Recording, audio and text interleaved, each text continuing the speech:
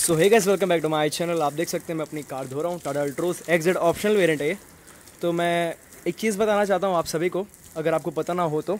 जब भी आप अपनी कार धोते हैं तो मेक श्योर sure कि ये जो आपका एसी का पार्ट रहता है, अंदर आपको दिख रहा होगा। एसी का एक पार्ट है। इसको आप हमेशा वॉश किया करिए बिकॉज़ इसमें धूल भी जमती है एंड इसमें कीड़े भी जाके मरते हैं तो बहुत सारे मतलब कचड़े भी रहते हैं सामने। तो हमेशा मेक श्योर sure कि आप हमेशा इसको साफ़ करें। अच्छे से, अच्छे फोर्स पानी से। अच्छे से पूरा साफ़ करें जितना आपसे हो पा रहा है, दिख रहा है, जितना विजिबल है आपको। तो क्या है, आपके कूलिंग में ये अफेक्ट करता है। कूलिंग में क्या बोलते हैं, आपकी कूलिंग इससे कम हो सकती है। तो आप जब भी अपनी कार दो दो, तीन तीन हफ़्ते में धोते हैं या एक एक हफ़्ते में धोते हैं, जब भी धोते हैं तो मेक श्योर आप इसको वॉश कर लें। और अगर आप विलेज वाले एरिया में रहते हैं तो ऑफकोर्स सी बात है कि उसमें बहुत धूल आती होगी। तो ज़रूर आप इसको साफ़ किया करें बिकॉज़ अगर ये साफ़ रहेगा तो आपकी कूलिंग भी कार की अच्छी रहेगी ए की।